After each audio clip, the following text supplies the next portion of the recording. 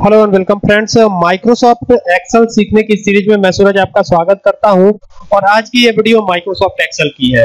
तो बार बार ये सुनने को मिलता है कि सर मेरे में रुपीस का सिंबल नहीं आ रहा है। तो सारे सिस्टम्स में इवन 2007 में भी आ, जो रुपीज़ का सिंबल है वो अपडेट कर दिया गया है बहुत पहले ही ठीक है माइक्रोसॉफ्ट के द्वारा। अब हमें करना क्या है वो समझिए। देखिए यहाँ पर देख सकते हैं अगर मैं कीबोर्ड की प्राइस की बात करूँ तो यहाँ कोई रुपीस का सिंबल नहीं आ रहा है मेरे लिए। ठीक है? हमको यहाँ रुपीज़ का सिंबल चाहिए, करना क्या पड़ेगा? यहाँ पर जो भी कुछ हम लिखे, इतने दूर में रुपीज़ का सिंबल अपने आप आ जाए। अगर मैं कोई नंबर लिखता हूँ लाइक प्राइस टाइप करता हूँ तो वहाँ पर रुपीज़ का सिंबल अपने आप आ जाना चाहिए। कुछ ऐसा, ऐसी व्यवस्था हम चाहते हैं। तो इसके लिए क्या करना है? तो एक शॉर्टकट की यूज़ कीजिए ना। बहुत कुछ नहीं करना। आप चाहे तो यहाँ से भी जाके कर सकते हैं यही काम। लेकिन हम एक शॉर्टकट की यूज़ करेंगे।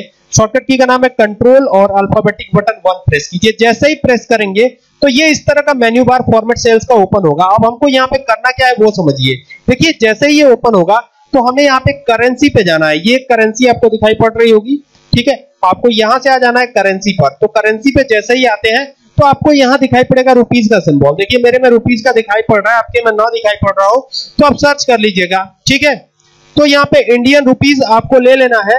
और लेने के बाद यहाँ से क्लिक करके और यहाँ से जो भी आपको चाहिए उस हिसाब से जाकर के और ओके प्रेस कर दीजिएगा तो ये सब रुपीज़ का सिंबल आगे लग करके आ जाएगा। ठीक है? अगर आप चाहते हैं डॉलर का लगाना तो डॉलर लगाने के लिए आपको फिर यहाँ पर काम करते हैं, फिर से इसको ओपन करते हैं, ये देखिए। अब यहाँ पर हमें डॉलर का साइन चाहिए। ठीक है? पहले तो मैं यहाँ नन कर सकते हैं। नन करेंगे तो कुछ भी नहीं आएगा। ठीक है? ये देखिए सब गायब हो जाएगा। लेकिन अभी हमें डॉलर का साइन चाहिए तो कंट्रोल के साथ वन बटन प्रेस करता हूँ। अब यहाँ पर चाहिए डॉलर का साइन तो डॉलर के साइन के लिए क्या करेंगे? करना है करेंसी में जाकर के यहाँ पे डॉलर चूज़ कर लेना है आपको। ठीक है?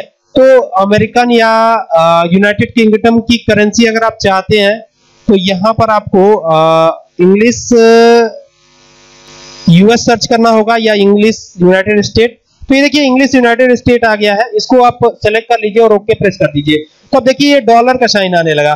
तो इस तरीके से आप करेंगे तो इस, ये आ जाएगा। और फिर अगर इंडियन चाहते हो तो फिर वापस से कंट्रोल वन प्रेस कीजिए। और यहाँ पर आपको इंग्लिश इंडिया ले लेना है। यानी कि रुपीज़ का सिंबल चाहिए तो ऊपर ही आ रहा है। ये लेकर के ओके प्रेस कर देंगे तो रुपीज़ का सिंबल आने लगेगा। ये बहुत आसान है। तो उम्मीद करता हूँ कि बात समझ में आ गई होगी। अगर आपको ये वीडियो अच्छी लगे तो शेयर करें। Thank you for watching this video